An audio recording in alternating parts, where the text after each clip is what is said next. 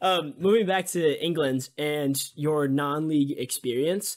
So I see on here you played for the likes of AFC Liverpool, Lancaster City, uh, St. Helens. I don't know if I'm pronouncing pronouncing all of these right. Yeah, yeah, um, yeah, perfect. And and, uh, and Garstang FC. So these are all non-league teams or within the football realm of like not EFL teams within England, correct? Yeah, so that most actually most of those teams are Northwest counties. Uh, one of them was Northern Premier League, and uh, but between them as well, there was one that would have been in my youth career, which was Fleetwood Town. Uh, so I went over to the I went over for a month because Fleetwood Town uh, Fleetwood Town's academy is two minutes away from uh, my girlfriend's house. Oh, so, really? Okay. Uh, in Thornton Cleveleys, so I saw that they were doing this like academy thing, and uh, I, I knew one of the people there, so I just literally emailed them and went to train with them. So they were bringing like internationals from all over the all over the globe. Really, they had like quite a lot of Americans, Canadians, all sorts coming in to train for, you know, like uh, get a bit of coaching experience in Europe, and then go back to wherever. So I was I wasn't doing anything in the summer, so two minutes away from my girlfriend, I was like, I'm going to do that. From that, then I went over to Lancaster. Uh, so one of our coaches was a coach at Lancaster City, so I went over with him, trialed, and then ended up staying but the um, I was I played mainly with their under 23s at the time, and the manager left. I think he went to a Northwest Counties team at the time. So when he left, I left as well, and then went to over to Garstang.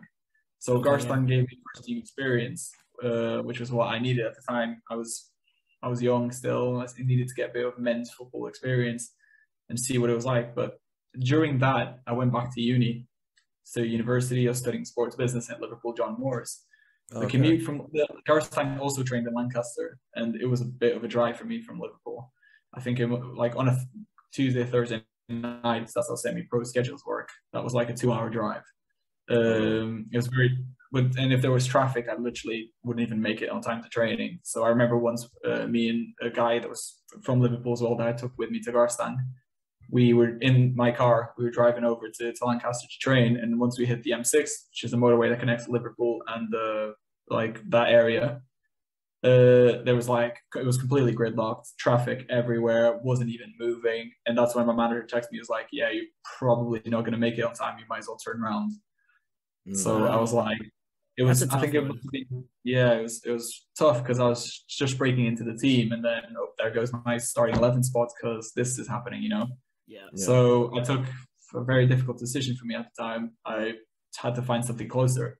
So St. Helens was a 20 minute drive from mine, a lot closer, still in the same league. So I went, I trialed. The assistant manager was Portuguese, and that's how the connection came along. And I, it was nice to have, you know, I haven't been home in a while as well, so it was nice to have people from Portugal, and we had a couple of Portuguese players as well. So I went over there and uh, played a couple of games for them, and then uh, I played for their 21s as well because their 21s played in the Northwest Under 21 League, league and which had like Tranmere Rovers had their uh, 21s team as well. Macclesfield Town before it went bankrupt the first time had their team in there, so it was a bit of a competitive league. So I'd get a game with the first team on Saturday, and then a team with the 21s on Sunday. Nice. So we lo- loads of game time, what I needed at the time, you know, yeah. get my fitness and all that. Yeah. And then, so that finished as soon as oh, I think the season got cancelled because it was the beginning of COVID. Oh, we went into that first lockdown. I think that's what it was.